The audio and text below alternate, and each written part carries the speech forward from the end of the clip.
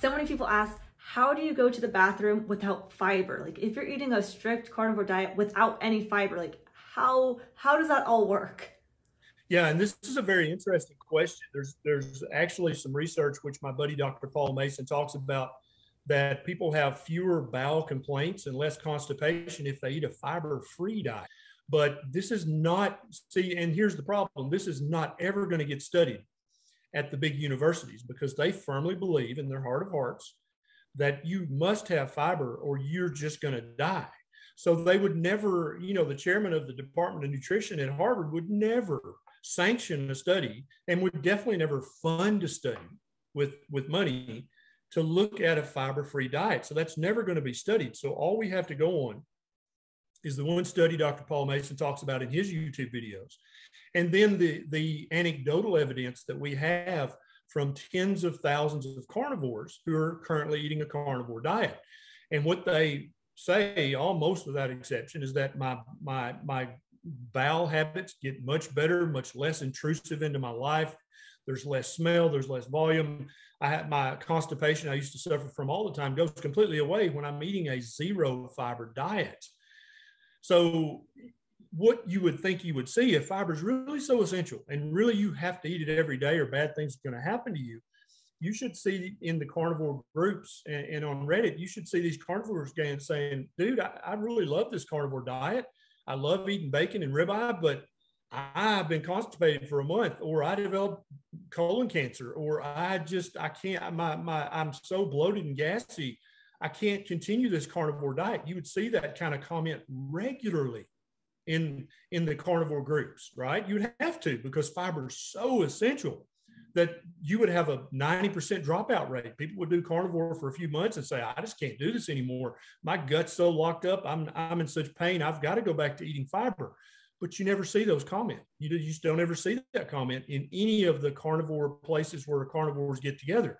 What you see is the exact opposite. And so, if fiber is such a necessity, then either of these carnivore groups are really censoring the people who have terrible gut symptoms because they're eating zero fiber. But I don't, I don't really believe that's what ha- what's happening. I believe we're all honestly trying to rediscover: is it is it okay to eat zero fiber? Is it safe? Is it is it a doable thing? Is it sustainable? Mm-hmm. And tens of thousands of carnivores say, "Yeah, dude, I have zero gut problems or bowel problems with the carnivore diet." And that to me speaks more than like some sort of research article or some sort of study, like a real person with their actual experience means so much to me. Um, and I haven't experienced that myself, but uh, the number one question I'm asked is what about high cholesterol? Like, how does this whole carnivore diet work? And if someone has high cholesterol, like what what does that mean?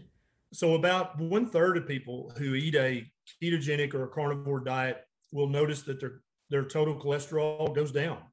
About one third of people will notice that their cholesterol doesn't change at all eating keto or carnivore versus the standard American crap. And about a third of people will notice that their total cholesterol and LDL cholesterol go up when they're eating uh, what I consider to be a proper human diet. Uh, so, first of all, the heart uh, the fat heart hypothesis was just that a hypothesis that having high cholesterol uh, and eating lots of saturated fat would cause heart disease in humans. That is a hypothesis, which means a smart guy just came up with an idea and then he, he started researching that.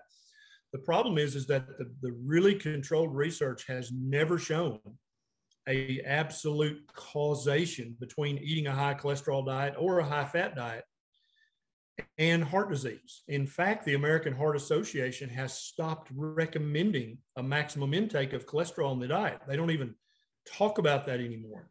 Uh, they've also pulled back and, and stopped saying that eating saturated fat will increase your risk of heart disease. The American Heart Association pulled that from their guidelines. But since they didn't have a press release on CNN and Fox News, the average person out there still thinks that eating diets rich in cholesterol and uh, fat will increase your risk of heart disease. But that's the research has never shown that, never supported that. That hypothesis failed.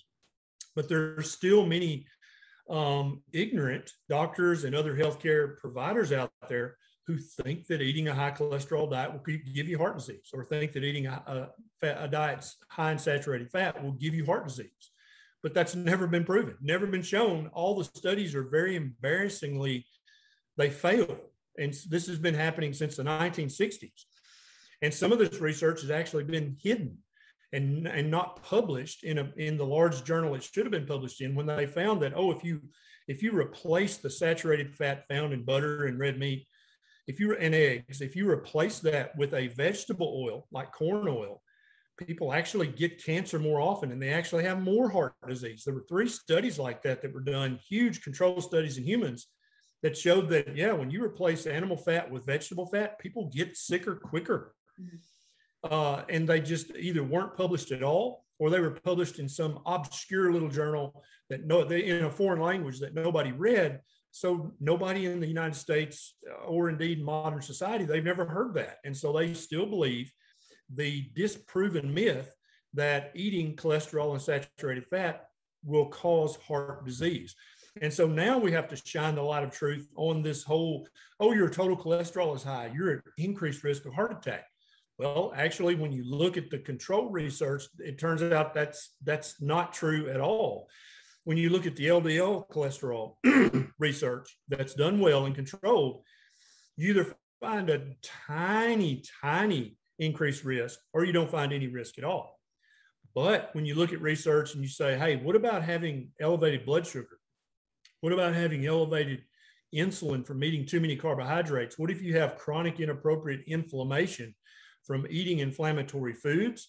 There's a huge uh, association between those things and having heart disease, heart attack, stroke. Uh, and, and even in control research, the people who are eating diets that cause their blood sugar and their insulin and their levels of inflammation to elevate, those are the people who are at risk of having a heart attack and smokers, of course. That, that research is pretty clear as well.